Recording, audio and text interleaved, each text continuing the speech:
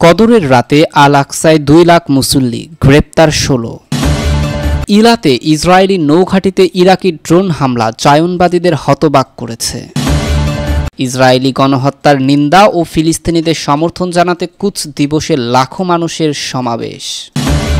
বিশ্ব অবশ্যই ইসরায়েলি শাসকদের ধ্বংসের সাক্ষ্য দেবে, বলেছে রাষ্ট্রপতি রাইসি। গাজায় মৃত্যু ও ধ্বংস ডেকে এনেছে ইসরায়েল।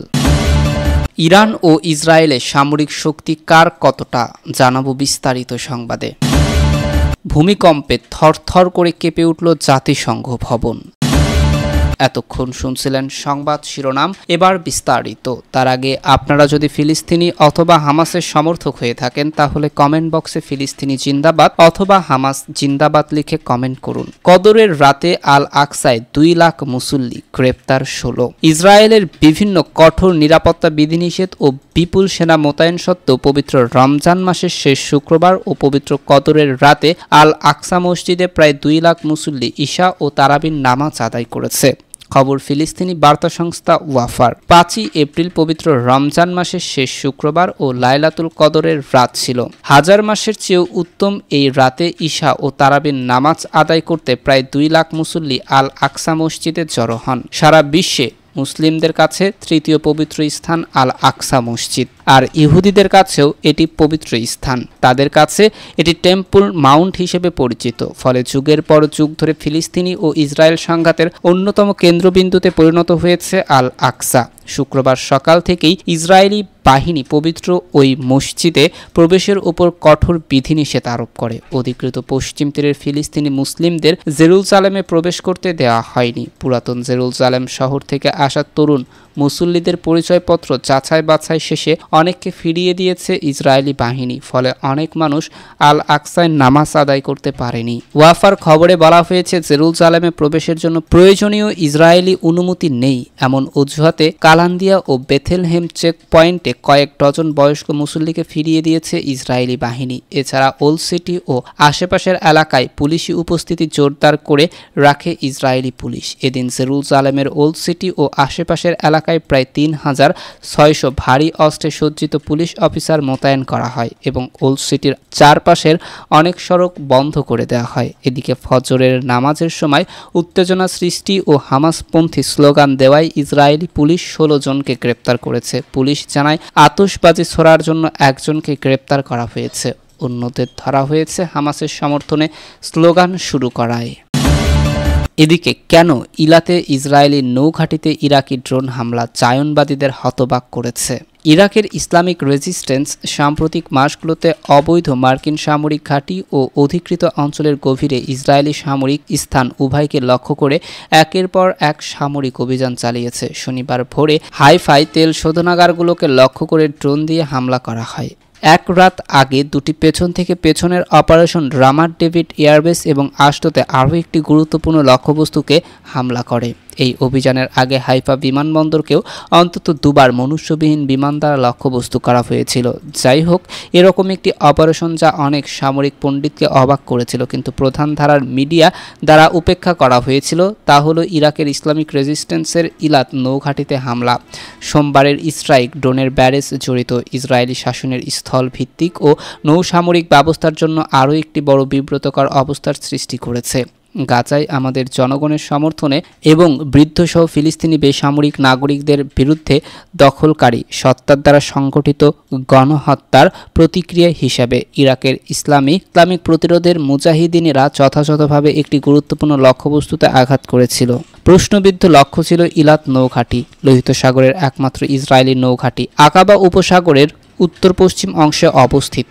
এটি ইলাতের কার্গো বন্দর থেকে প্রায় এক কিলোমিটার উত্তর পূর্বে অবস্থিত, যা ফিলিস্তিনিদের সাথে সংহতি প্রকাশ করে ইয়েমেন কর্তৃক বাস্তবায়িত নৌ অবরোধের কারণে কয়েক মাস ধরে প্রায় সম্পূর্ণ নিষ্ক্রিয় ছিল। একই সকালে প্রকাশিত ছবি ও ফুটেজগুলি দেখায় যে প্রভাবটি নৌহলের দক্ষিণ তৃতীয় অংশের ক্ষতি করেছে। দেশের কেন্দ্রীয় এবং বৃহত্তম বন্দর ভবন, যার প্রায় একশো মিটার দীর্ঘ সম্মুখভাবে ইসরায়েলের পতাকা আঁকা রয়েছে।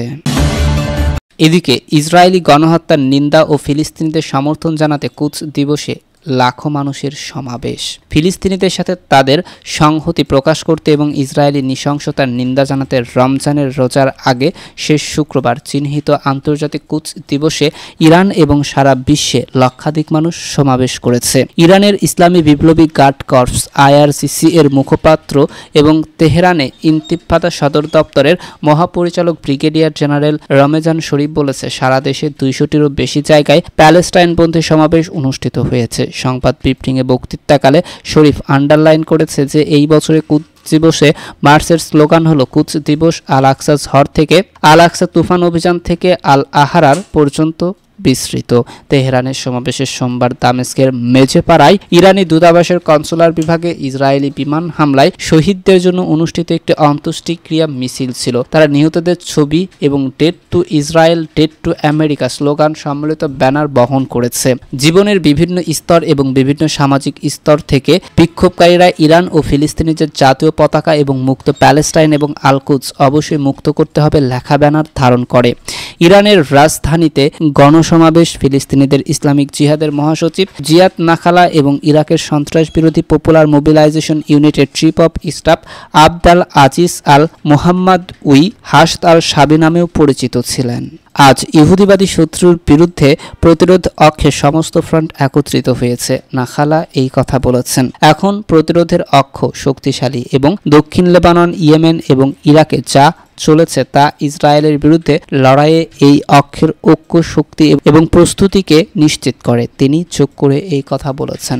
অবশ্যই ইয়েমেন, ইরাক, লেবানন এবং ফিলিস্তিনের পাশাপাশি ইসলামিক প্রজাতন্ত্র ইরানের প্রতিরোধের অক্ষের সমস্ত গোষ্ঠীর মধ্যে আজ যা উদ্ভাসিত হচ্ছে তা হলো ইসরায়েলের পতনের ঘোষণা। আবু ফাহাদ নামে পরিচিত মুহাম্মাদ ভি সাংবাদিকদের এই কথা বলেছেন। আক্রমণের একশো আশি দিনের বেশি সময় ধরে গাজা উপত্যকায় কমপক্ষে তেত্রিশ হাজার সাঁত্রিশ জন নিহত হয়েছে। পঁচাত্তর হাজার ছয়শো আটষট্টি জন আহত হয়েছে, যাদের বেশিরভাগই মহিলা এবং শিশু। তেরাবিব গাজায় পানি, খাদ্য ও বিদ্যুৎ বন্ধ করে দিয়েছে। উপকূলীয় স্ট্রিপকে মানবিক সংকটে নিমজ্জিত করেছে। কুচ দিবস হল ফিলিস্তিনিদের প্রতি সমর্থন জানাতে এবং ইসরায়েল ও ইহুদিবাদের বিরোধিতা করার জন্য পবিত্র রমজান মাসের শেষ শুক্রবার অনুষ্ঠিত একটি বার্ষিক প্যালেস্টাইনপন্থী অনুষ্ঠান। ইসলামী প্রজাতন্ত্রের প্রয়াত প্রতিষ্ঠাতা ইমাম খোমেনির উদ্যোগে এই অনুষ্ঠানটি প্রথম উনিশশো উনআশি সালে ইরানে অনুষ্ঠিত হয়। ইসলামী বিপ্লবের পরপরই। এদিকে বিশ্ব অবশ্যই ইসরায়েলি শাসকদের ধ্বংসের সাক্ষ্য দেবে, বলেছে রাষ্ট্রপতি রাইসি। প্রেসিডেন্ট ইব্রাহিম রাইসি সারা দেশে আন্তর্জাতিক কুচ দিবসের সমাবেশে ইরানি জাতিকে তাদের সর্বাধিক উপস্থিতির জন্য ধন্যবাদ জানিয়ে বলেছেন। ইসরায়েলি শাসনের নৃশংসতার বিরুদ্ধে বিশ্বব্যাপী গতি নিশ্চিতভাবে শাসনের ধ্বংসের চূড়ান্ত পরিণতি হবে। ইসলামী প্রজাতন্ত্রের প্রয়াত প্রতিষ্ঠাতা ইমাম খোমেনির আহ্বানের ভিত্তিতে প্রতি বছর পবিত্র রমজান মাসের শেষ শুক্রবারে ফিলিস্তিনিপন্থী অনুষ্ঠানটি অনুষ্ঠিত হয়। শুক্রবার গাজী স্ট্রিপের বিরুদ্ধে শাসকদের অক্টোবরে বর্তমানে গণহত্যামূলক যুদ্ধের মধ্যে ইরান এবং সারা বিশ্বে লক্ষ লক্ষ মানুষ এই উপলক্ষকে চিহ্নিত করার জন্য সমাবেশ করেছে, যা এই পর্যন্ত তেত্রিশ হাজারেরও বেশি ফিলিস্তিনিদের জীবন দাবি করেছে, যাদের বেশিরভাগই মহিলা এবং শিশু। সমাজের বিভিন্ন স্তরের এবং বিভিন্ন সামাজিক স্তর থেকে আসা বিক্ষোভকারীরা ইরান এবং ফিলিস্তিনিদের জাতীয় পতাকা ও ব্যানারে মুক্ত প্যালেস্টাইন এবং আলকুদসকে মুক্ত করতে হবে লেখা ব্যানার উত্তোলন করেন। পরের দিন জারি করা একটি বার্তায় রাইসি এই অনুষ্ঠানের বিষয়ে তাদের দায়িত্বের অংশকে সম্মান করার জন্য ইরানের জনগণের প্রতি কৃতজ্ঞতা প্রকাশ করেন। এই বছরে কুচ দিবসের র্যালি বার্তাটি পঠিত ইরানের জনগণকে গৌরবময় এবং অনুপ্রেরণাদায়ক উপস্থিতির মঞ্চস্থ করেছে, যা এই সংবেদনশীল সন্ধিক্ষণে নিপীড়নে এবং শক্তিশালী ফিলিস্তিনি জাতি এবং গাজার সমর্থনে এবং সহানুভূতির জন্য অখণ্ডতা এবং সংহতি স্থায়ী দৃশ্য তৈরি করেছে। এই মহাকাব্যিক এবং প্রশংসনীয় উপস্থিতি বিশ্বব্যাপী অধ্যত্বের কাছে একটি উচ্চ বার্তা প্রচার করেছে, যার নিপীড়ন, ক্রোধ এবং হত্যাকাণ্ড ব্যর্থতার জন্য ধ্বংসপ্রাপ্ত বলেছেন রাষ্ট্রপতি। বিশ্বব্যাপী এবং সার্বজনীন আন্দোলন অবশ্যই ফলাফল দেবে এবং বিশ্বের মানুষ সত্যই ঐশ্বরিক প্রতিশ্রুতি এবং ইহুদিবাদী শাসনের ধ্বংসের সাক্ষ্য দেবে। এদিকে গাজায় মৃত্যু ও ধ্বংস ডেকে এনেছে ইসরায়েল, বলেছে জাতিসংঘ মহাসচিব। জাতিসংঘের মহাসচিব অ্যান্তেনিউ গুতেরেজ বলেছেন, গাজায় ইসরায়েল সামরিক অভিযান ফিলিস্তিনিদের জন্য শুধুমাত্র মৃত্যু এবং ধ্বংসই ডেকে নিয়ে এসেছে। গাজায় ইসরায়েলের যুদ্ধ শুরু হওয়ার ছয় মাস পর গতকাল শুক্রবার এক বক্তৃতায় জাতিসংঘের মহাসচিব বলেছিলেন, কোনো কিছুই ফিলিস্তিনি জনগণের বিরুদ্ধে সম্মিলিত শাস্তিকে সমর্থন করতে পারে না। তিনি বলেন, জীবন ছিন্ন ভিন্ন হয়ে গেছে।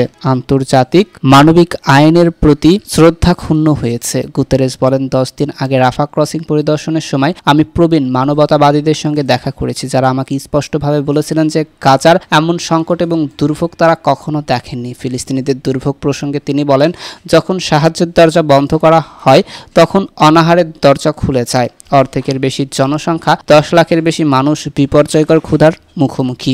গাজার শিশুরা আজ খাদ্য ও পানির অভাবে মারা যাচ্ছে। গত সাতই অক্টোবর থেকে গাজায় ইসরায়েলের যুদ্ধ শুরু হওয়ার পর থেকে স্বাস্থ্য কর্তৃপক্ষের মতে তেত্রিশ হাজারের বেশি মানুষ নিহত হয়েছে। কয়েক লাখ লোক বাস্তুচ্যুত হয়েছে এবং সাহায্য সংস্থাগুলি সতর্ক করেছে যে স্ট্রিপটি দুর্ভিক্ষের দ্বারপ্রান্তে রয়েছে। জাতিসংঘের মহাসচিব অ্যান্টনিও গুতেরেস আন্তরিকভাবে আশা করেন, ইসরায়েল দ্রুত এবং কার্যকরভাবে গাজ উপত্যকায় সাহায্যের প্রবেশ অধিকার বাড়াবে। এদিকে ইরান ও ইসরায়েলের সামরিক শক্তি কার কতটা? সিরিয়ার রাজধানী দামেস্কে ইরানি কনসুলেটে গত সোমবার ইসরায়েল হামলা চালায়। এতে ইরানের বিপ্লবী গার্ড বাহিনীর বিদেশ শাখার শীর্ষ জেনারেল সহ তেরো জন নিহত হয়েছে। এই হামলার জবাব দেওয়ার ঘোষণা দিয়েছে ইরান। তবে প্রতিশোধমূলক হামলা চালানোর সক্ষমতা ইরানের কতটুকু সেই প্রশ্ন রয়েছে। কনসুলেটে হামলায় বিপ্লবী গার্ড বাহিনীর বিদেশ শাখা আলকুচ বাহিনীর দেখভালের দায়িত্বে থাকা brigadier general Mohammad Reza Zahedi নিহত হয়েছেন। অবশ্য বরাবরের মতো আবারও হামলার বিষয়ে সরাসরি কোনো মন্তব্য করেনি ইসরায়েল। এই হামলার ঘটনায় ক্ষুব্ধ প্রতিক্রিয়া জানিয়েছে ইরান। দেশটির পররাষ্ট্রমন্ত্রী হোসেন আমির আবদুল্লাহিয়ান বলেছেন, ইসরায়েলের প্রধানমন্ত্রী বেনিয়ামিন নেতানিয়াহু তার মানসিক ভারসাম্য পুরোপুরি হারিয়ে ফেলেছেন।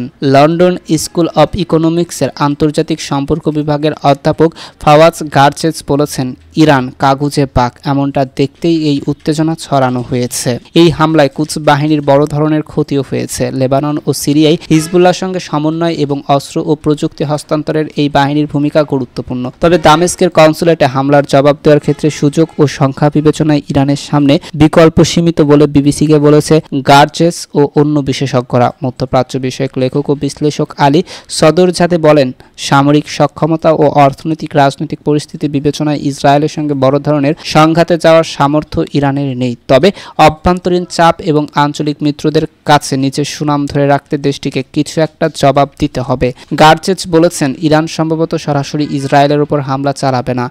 যদিও ইসরায়েলের প্রকৃতি অর্থেই ইরানকে লজ্জায় ফেলে দিয়েছে এবং আপাত দৃষ্টিতে ধরাশয়ী করেছে। তিনি আরও বলেছেন, ইরান সম্ভবত কৌশলগত ধৈর্য দেখিয়ে যাবে, কারণ দেশটি এর চেয়েও গুরুত্বপূর্ণ লক্ষ্যের প্রতি জোর দিচ্ছে, আর সেটা হলো পারমাণবিক বোমা তৈরি। সদরজাদে মনে করেন, ইসরায়েলের সঙ্গে সরাসরি যুদ্ধে জড়ানোর চেয়ে ইরান সম্ভবত প্রতীকী জবাব দিতে পারে। অত্যাধুনিক অস্ত্র ও প্রযুক্তির দিক থেকে ইসরায়েল বিশ্বের অন্যতম শক্তিশালী দেশ। সাম্প্রতিক বছরগুলোতে ইরানও সামরিক প্রযুক্তিতে অনেক দূর এগিয়েছে। সামরিক সক্ষমতায় কোন দেশ কোন অবস্থানে রয়েছে তার পরিসংখ্যান তুলে ধরে গ্লোবাল ফায়ার পাওয়ার সূচকে একশো পঁয়তাল্লিশটি দেশের মধ্যে ইরানের অবস্থান চোদ্দতম আর ইসরায়েলের অবস্থান সতেরোতম। ওয়েবসাইটটির দেওয়া তথ্য অনুযায়ী ইরান ও ইসরায়েলের সামরিক সক্ষমতার চিত্র তুলে ধরা হলো। ইরানের সেনা রয়েছে ছয় লক্ষ দশ হাজার আর ইসরায়েলের রয়েছে এক লক্ষ সত্তর হাজার। রিজার্ভ সেনা ইরানের তিন লক্ষ পঞ্চাশ হাজার, ইসরায়েলের চার লক্ষ পঁয়ষট্টি হাজার। আধা সামরিক বাহিনী ইরানের দুই লক্ষ বিশ হাজার, ইসরায়েলের মাত্র পঁয়ত্রিশ হাজার। মোট সামরিক উড়োজাহাজ ইরানের রয়েছে পাঁচশো একান্নটি আর ইসরায়েলের ছয়শো বারোটি। যুদ্ধবিমান ইরানের একশো ষোলোটি, ইসরায়েলের দুইশো একচল্লিশটি। হামলায় ব্যবহৃত যুদ্ধবিমান ইরানের তেইশটি, ইসরায়েলের উনচল্লিশটি। পরিবহন উড়োজাহাজ ইরানের ছিয়াশিটি, ইসরায়েলের বারোটি। হেলিকপ্টার ইরানের একশো উনত্রিশটি, ইসরায়েলের একশো ছেচল্লিশটি। হামলায় ব্যবহৃত হেলিকপ্টার ইরানের রয়েছে তেরোটি আর ইসরায়েলের রয়েছে আটচল্লিশটি ইরানের ট্যাঙ্ক রয়েছে এক হাজার নয়শো ছিয়ানব্বইটি আর ইসরায়েলের ট্যাঙ্ক রয়েছে এক হাজার তিনশো সত্তরটি। শাহজাহান ইরানের পঁয়ষট্টি হাজার সাতশো পঁয়ষট্টি আর ইসরায়েলের তেতাল্লিশ হাজার চারশো তিনটি যুদ্ধজাহাজ। ইরানের রয়েছে একশো একটি আর ইসরায়েলের রয়েছে সাতষট্টিটি। সাবমেরিন রয়েছে ইরানের ইরানের সাবমেরিন রয়েছে উনিশটি আর ইসরায়েলের রয়েছে পাঁচটি। ইরান ও ইসরায়েলের রয়েছে শক্তিশালী আকাশ প্রতিরক্ষা ব্যবস্থা। বিশেষ করে ইসরায়েলে আয়রন ডোম আকাশ প্রতিরক্ষা ব্যবস্থার সাফল্য ঈর্ষণীয়। এছাড়া দেশ দুটির হাতে রয়েছে বিভিন্ন পাল্লার ক্ষেপণাস্ত্র ও হামলার কাজে ব্যবহার করা যায় এমন বহু ড্রোন। ইসরায়েলের কাছে পারমাণবিক বোমা থাকলেও এই নিয়ে প্রকাশ্য কিছু বলে না দেশটি। এসব বিষয়ে গ্লোবাল ফায়ার পাওয়ারের তথ্যে উল্লেখ নেই। এদিকে ভূমিকম্পে থরথর করে কেঁপে উঠল জাতিসংঘ ভবন। যুক্তরাষ্ট্র, নিউ ইয়র্ক ও আশেপাশের অঞ্চলে স্থানীয় সময় শুক্রবার সকালে আঘাত এনেছে চার দশমিক আট মাত্রার একটি ভূমিকম্প। ওই সময় নিউ ইয়র্কের বিভিন্ন অঞ্চলে শক্তিশালী ভূমিকম্প অনুভূতি হয়। ভূমিকম্পের কম্পন কতটা জোরালো ছিল সেটি ধরা পড়েছে জাতিসংঘের নিরাপত্তা পরিষদের বৈঠকে থাকা একটি ক্যামেরায়। ভিডিওটি মাইক্রো ব্লগিং সাইট এক্সে প্রকাশ করেছে জাতিসংঘ। এতে দেখা যাচ্ছে সেভ দ্য চিলড্রেন এর প্রেসিডেন্ট ও তার নির্বাহী জান্তি সরিয়াপ্ত কথা বলছেন। ওই সময় তিনি ফিলিস্তিনের গাজা উপত্যকা নিয়ে আলোচনা করছিলেন। তখন হঠাৎ করে জাতিসংঘের ভবনটি কেঁপে ওঠে। যখন তিনি কথা বলা বন্ধ করে দেন, তখন পাশ থেকে কেউ একজন মোজার ছলে বলেন, আপনি মাটি কাঁপাচ্ছেন। শুক্রবার আঘাত আনা এই ভূমিকম্পটির উৎপত্তি স্থল ছিল পার্শ্ববর্তী নিউ জার্সি। তবে এই ভূমিকম্পে কেউ আহত বা নিহত হয়নি। এছাড়া কোনো অবকাঠামোগত ক্ষয়ক্ষতির তথ্য জানা যায়নি এ পর্যন্ত। এদিকে সকালে নিউ ইয়র্ক সিটির অসংখ্য মানুষ কম্পন অনুভব করেন। ওই সময় অনেক বাড়িঘর কেঁপে ওঠে। পরবর্তীতে আনুষ্ঠানিকভাবে জানানো হয়, এটি একটি ভূমিকম্প ছিল। নিউ ইয়র্কের গভর্নর ক্যাথি হোচুল মাইক্রোব্লগিং সাইটে ভূমিকম্পের বিষয়টি নিশ্চিত করেছেন। তিনি এক্সে লিখেছেন, পূর্ব ম্যানহ্যাটনে চার দশমিক আট মাত্রার একটি ভূমিকম্প আঘাত এনেছে এবং এটি পুরো নিউ ইয়র্কের অনুভূত হয়েছে। কোনো ক্ষয়ক্ষতি হয়েছে কিনা সেটি নিরূপণ করছে আমার দল। আমরা এ ব্যাপারে সাধারণ মানুষকে আরও অবহিত করব। ভূমিকম্পের কারণে নিউ ইয়র্ক সিটি বিমানবন্দরে নামতে পারেনি। বেশ কয়েকটি বিমান সে সময় সেগুলোকে ড্রাইভার্ট করা হয়। যুক্তরাষ্ট্রের জাতীয় সুনামি সতর্কতা সংস্থা জানিয়েছে, ভূমিকম্পের কারণে সুনামির আশঙ্কা নেই। নিউ ইয়র্ক সিটির মেয়র এরিক অ্যাডামসের এক মুখপাত্র জানিয়েছে, ভূমিকম্পে কোনো ধরনের ক্ষয়ক্ষতি হয়নি। তা সত্ত্বেও হ্যারসন নদীর নিচে অবস্থিত হোল্যান্ড টানেলে গাড়ি চলাচল বন্ধ করে দেওয়া হয়েছে। ভূমিকম্পের টানেলটি কোনো ধরনের ফাটল বা ক্ষয়ক্ষতি হয়েছে কিনা তা এখন সেটি নিপূরণ করা হচ্ছে। এতক্ষণ আমাদের সাথে থাকার জন্য ধন্যবাদ। পরবর্তী সংবাদ সবার আগে পেতে আমাদের চ্যানেলটি সাবস্ক্রাইব করে পাশে থাকা বেল আইকনটিতে ক্লিক করে রাখুন।